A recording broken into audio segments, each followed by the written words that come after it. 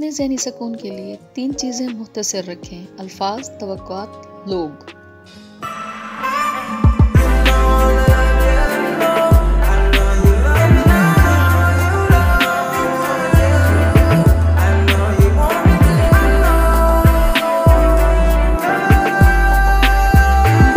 अस्सलाम वालेकुम। कैसे हैं आप सब? उम्मीद करती हूँ सब खैरियत से होंगे। अल्हम्दुलिल्लाह, हम सब भी बिल्कुल खैर हम तो वैसे भी करते हैं। चलता ही रहता है, पर आज हमें सफ़ाई भी करनी पड़ रही है।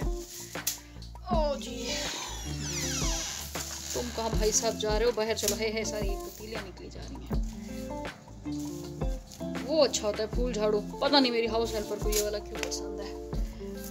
वो कहती है, बा भाभी, ये आराम से हो जाता है। इससे अच्छे तरीके से सफ़ाई होती है पसंद ये वाला।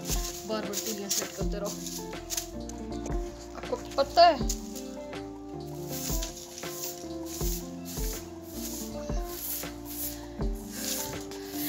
मेहनत कर रहे हैं गाइस प्लीज़ हमारे चैनल को सब्सक्राइब करें लाइक करें.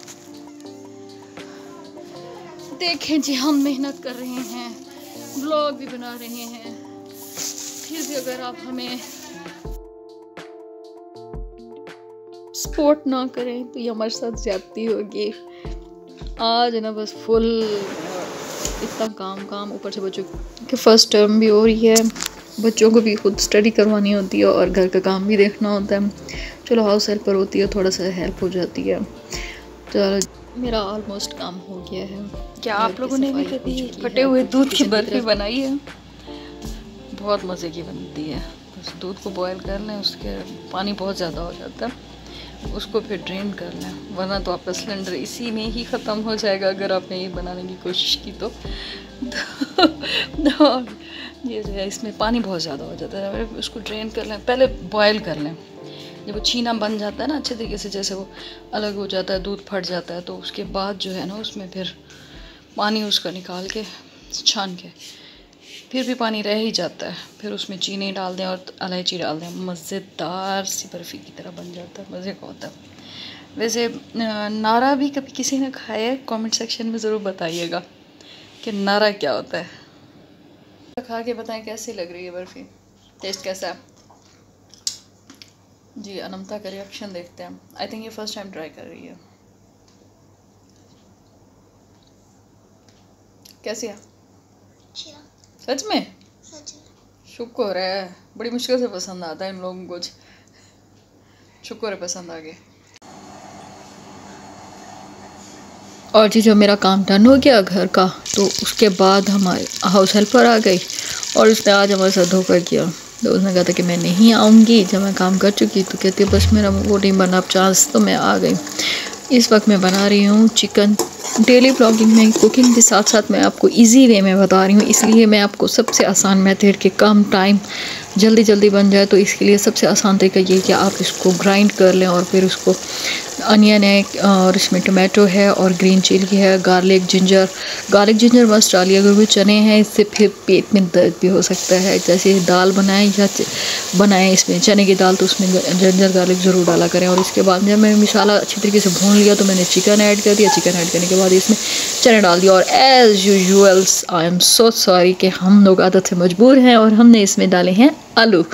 और उसके बाद इसको अच्छी तरीके से भुनाई की, भून भून भून के और उसके बाद इसमें पानी डाला हंसपे हंसपे ज़रूरत जैसे शोरबा चाहिए, उसमें वो किया और उसके बाद इसके ऊपर खुश्क धनिया डाल दिया और जी हमारा चिकन चने तैयार है। और जी हाँ अनबॉक्सिंग होने लगी थी, मेरे लिए मंगवाए गए थे एयरपोर्ट्स जो कि डिलीवर हुए थे हमें चाइना से।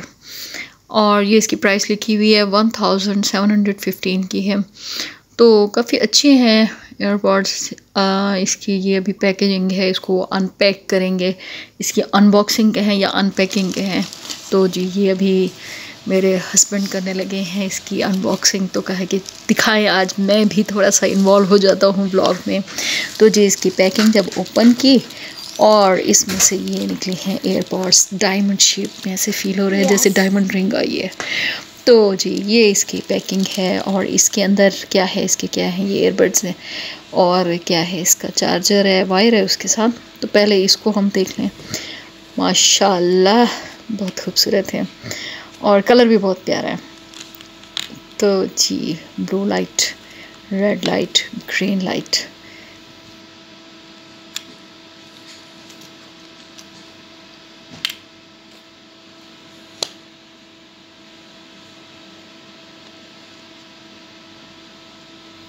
अब इसको भी अनपैक कर लेते हैं और इसमें से बुकलेट जो कि आई थिंक हम में से आलमोस्ट तकरीबन लोगों की ऐसी आदत होगी कि ये जो बुकलेट आता है ना, हम इसको पढ़ने की तकलीफ़ नहीं करते। अब अपने जुगाड़, अपनी इंटेलिजेंस हम अपना दिमाग लगा लगा के हम इस्तेमाल करते हैं। और जी, ऐसे लगता है कि जस्ट ये इन्होंने बस बुकलेट दिया है, एक फॉर्मेलिटी है, इसको हमने पढ़ना नहीं है। लगाना हमने अपना दिमाग है। माशाल्लाह जहीन कौम। ये इतना बड़ा सा इन्होंने बुकलेट दिया हुआ है। वो बेचारे इतना खर्चा करते हैं कि पढ़ लो पढ़ लो पढ़ लो। समय ये तसली होती है बुकलेट है। खुदा ना खास्ता कोई ऊँच नहीं तो फिर हम देख ही लेते हैं कभी कभी लेकिन एंड में, पहले कभी नहीं यूज़ किया। आई डोंट थिंक सो कि हम कभी पहले यूज़ और जी इसके लिए चार्जिंग के लिए केबल है, जो कि माशा बहुत बड़ी है। बहुत मेहरबानी उनकी। इतनी बड़ी वायर दे दी हमें। लो जी, अब हम इसको लगाएँगे चार्जिंग प्लग में। चार्जर अपना यूज़ करना पड़ेगा भाई साहब। तो अब जी ये चार्ज हो रहे हैं। आप देखें डेंजर रेड लाइट्स ऑन हो गई हैं। इसका मतलब ये चार्जिंग पे है और डेंजर है ना बिजली को।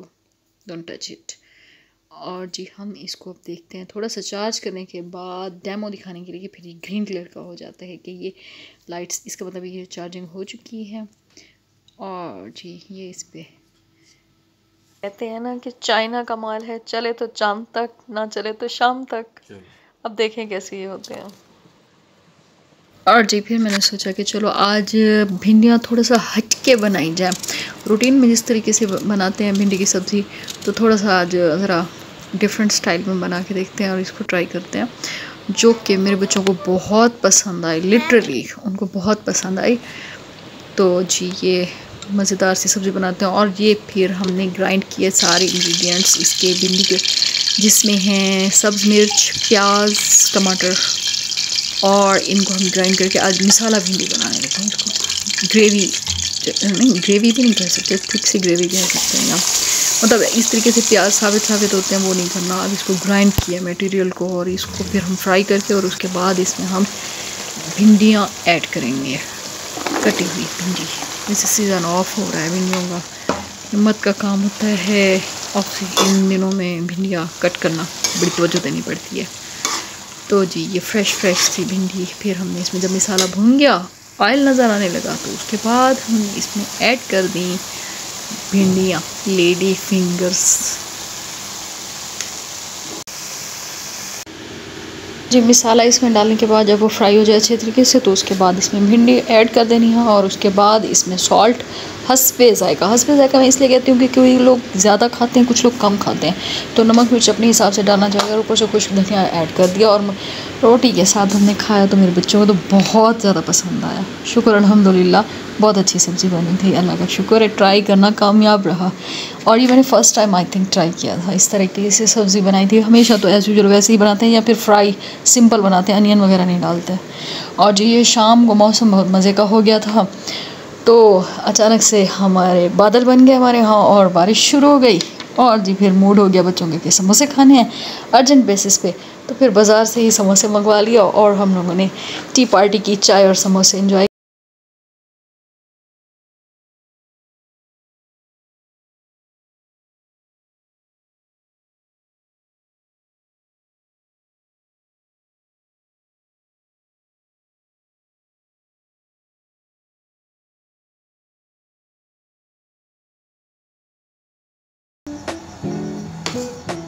आज के ब्लॉग में मैंने आपके साथ चिकन की रेसिपी भी शेयर की है और एक सब्ज़ी की भी यानी कि गोश्त की भी होगी सब्ज़ी भी। तो दाल कैसे पीछे रह सकती है? मतलब दाल सब्ज़ी गोश्त आज के ब्लॉग में आपको सब। दाल बॉईल करते वक्त ये सफ़ेद सी झाग आ जाती है तो इसको नहीं इसको निकाल दें क्योंकि ये सारा मैल वगैरह भी होता है जो पानी जैसे बॉयल होता है तो करने के लिए रखें और कभी भी ठंडे पानी में दाल बॉयल नहीं करें। जब भी पानी गर्म हो जाए उसके बाद दाल बॉयल करें तो जल्दी बॉयल होती है।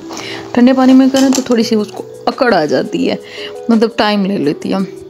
तो जी, ये मिसालें हैं जिसमें ये टमाटर है जो तड़के के लिए, और इसमें हरी मिर्च है, और ये धनिया ऊपर से स्प्रिंकल करेंगे, थोड़े से लेमन है, ये जिंजर यानी गार्लिक और जिंजर है, और, यानी लहसुन, अदरक और जी ये मैंने ना जो लहसुन लिया है ये छोटा छोटा आपको नज़र आ रहा है तो ये देसी लहसन होता है जिसकी खुशबू बहुत अच्छी होती है। जो मैं ग्राइंड करके हरी मिर्च और लहसुन अदरक जो है ना वो इसमें डाल दिया तो हरी मिर्च के साथ ना इसकी बहुत अच्छी खुशबू आती है जैसे तड़का लगाएँ जब दाल को। लहसन जले नहीं थोड़ी सी उसमें से खुशबू आने लगे तो उसमें फ़ौरन टमाटर ऐड कर दें। और उसको अच्छी तरीके से वो जैसे तेल अलग हो जाए तब इसके बाद जो है मिसाले वगैरह जब तक डाल लें आप तेल अलग होने तक इसमें आप ऐड कर सकते हैं नमक, मिर्च। अगर बॉयल करते वक्त भी आप ऐड कर दें तो उससे भी बहुत अच्छा टेस्ट आता है। हरी मिर्च ज़रूर डालें, जैसे बॉयल कर रहे हैं, उससे फिर उसका टेस्ट बहुत अच्छा आता है।